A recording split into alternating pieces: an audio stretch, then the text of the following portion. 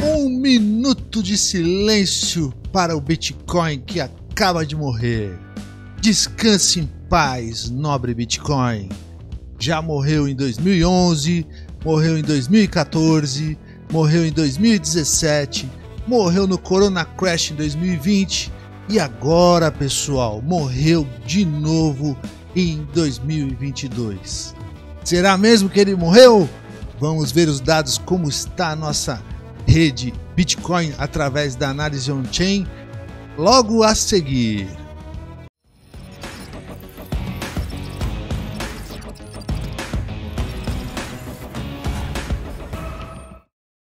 Mas antes da gente fazer o enterro do Bitcoin, galera, não se esqueçam de se inscrever no nosso grupo lá, Bitcoin Crypto do André Fault.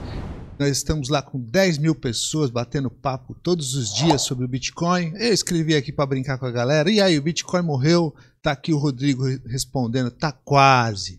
O Vicran respondendo, tá respirando por aparelho, professor. O Edilson já tá cravando que nós vamos chegar nos 20 mil dólares. E o Rodrigo aí colocou um macaquito sofrendo muito. O volume do Bitcoin bateu 62,8 bilhões de dólares nessa queda. E como o Bitcoin Waves havia previsto, que provavelmente o fundo de todo o movimento aconteceria agora no mês de junho, sendo que teríamos maio, junho e julho como os meses mais difíceis aí pela frente. Acreditamos que lá para o segundo semestre, ao redor de setembro, a gente comece a ter uma retomada aí da rede, tá bem, galera? Bom, sobre os suportes e resistência que eu sempre coloco aqui para vocês, nós estamos agora vendo um teste do suporte de 22.500 dólares. Está quase perdendo esse suporte, tá bom, pessoal? E se perder ele, nós temos um suporte aí forte em 19.8K e finalmente em 16.8 mil dólares. Vamos ficar atentos aí, porque também o RSI no semanal já entrou aí em sobrevenda, então significa que nós estamos com um momento bastante interessante para efetuar compras aí, começar a montar posições na rede, tá bem, pessoal? Bom, e como que estão os dados on-chain? Bom, o número de transações, nós tivemos aí pouca diferença também nessa última semana. Nós saímos de 252 mil transações para 251 mil transações, uma, uma queda aí pouco menor do que 1%, nós estamos ainda observando um silêncio na rede, nós estamos com pouco baixo número de transações, baixo número de endereços ativos dentro da nossa rede Bitcoin, mostrando realmente que estamos vivendo aí o mercado de urso, tá bem? O número de endereços ativos está aqui para vocês poderem ver comigo aqui, certo, pessoal? Então nós saímos lá de 903 mil endereços ativos para 892 mil endereços ativos, tivemos uma queda de 1,2% na atividade dos endereços antigos, da galera das antigas aí, tá bom? que mais que nós temos? Os novos endereços foram os que subiram um pouco. Como eu mostrei para vocês naquele último, no, naquele último vídeo, quem está conseguindo comprar essa baixa são as sardinhas que tem menos de um Bitcoin, aí incluindo o pessoal dos novos endereços, nas né, carteiras novas, e o pessoal acima de 10 mil Bitcoins, que está comprando também. Os que estão em maior venda aí são os que têm Bitcoins entre 1 e 100 Bitcoins em suas carteiras, tá bom? Muito bem. O hash rate que chegou a bater all time high no dia 8 de junho, batendo 800, 269 exahashes por segundo, caiu bastante agora, marcou ontem 193 exahashes e hoje, dia 13 de junho, está em 196 exahashes por segundo. Então essa é a força compradora, pessoal. Reparem que a força compradora não está com aquela força que nós estamos acostumados a ver normalmente em épocas de alta, tá certo? Ela está aí lutando para manter, para tentar construir um fundo para esse todo esse movimento aí, tá bem? E a força vendedora, como está? A força vendedora até que nos animou um pouco aí nessa última semana. porque lembra que eu disse para vocês que eu estava esperando ela perder força, ó.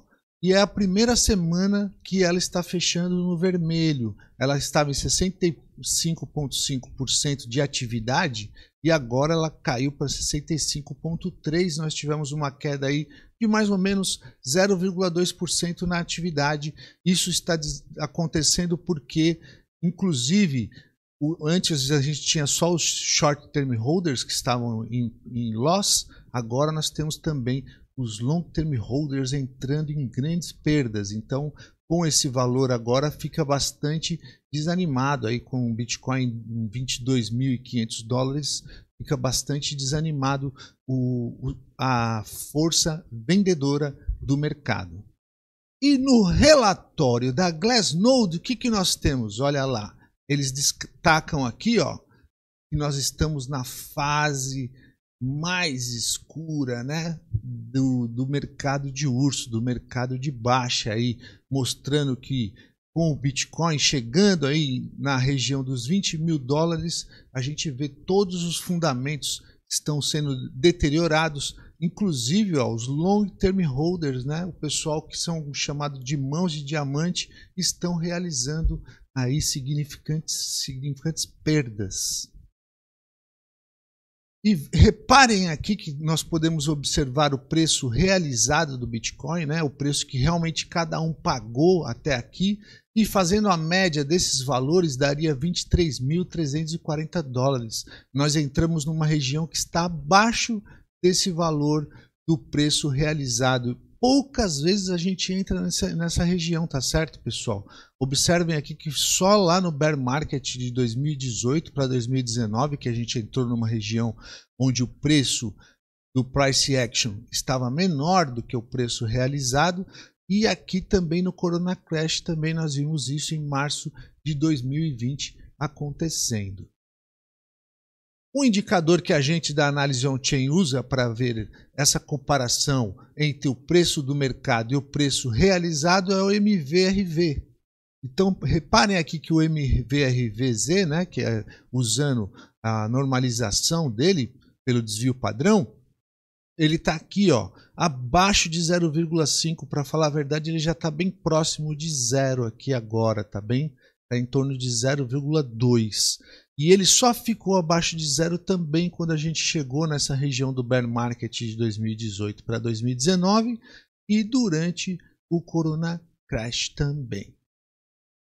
Durante essa queda, quem são os principais vendedores aqui? Ó, tá aqui é o pessoal que está entre 1 e 100 bitcoins, mas notavelmente quem tem entre 10 e 100 bitcoins nas suas carteiras são os que estão sendo os maiores vendedores no exato momento e os maiores compradores são as sardinhas aqui, ó, menor do que um bitcoin e também em segundo lugar quem tem acima de 10 mil bitcoins.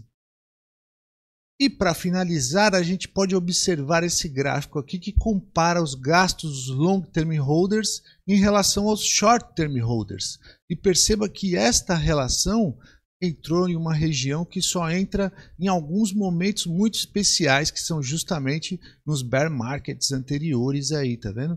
Que a gente consegue ver uma razão aí muito maior mostrando que os long term holders começaram a gastar as suas moedas aí muito mais do que os short term holders. Então, isso que realmente demonstra para nós que nós estamos aí no mercado de baixa. Então, galera, infelizmente o mercado do Bitcoin entrou aí, como vocês repararam nos gráficos, em um período dos mais sombrios quando se compara com os outros mercados anteriores, com as baixas anteriores, nós estamos num grande momento aí de queda mesmo de mercado onde os ursos dominaram completamente o mercado, tá bem, pessoal? Esse tipo de mercado de baixa pode demorar oito meses, mas pode chegar até 24 meses aí nos piores momentos que a rede já passou, tá bem, pessoal? Vamos ver aí, vamos ficar acompanhando os dados da rede on-chain. Os dados, como eu disse para vocês, continuam se deteriorando, então as notícias não estão muito boas para o nosso mercado. Tá bem, galera? Se cuidem aí, cuidem dos seus capitais e a gente se vê na próxima semana.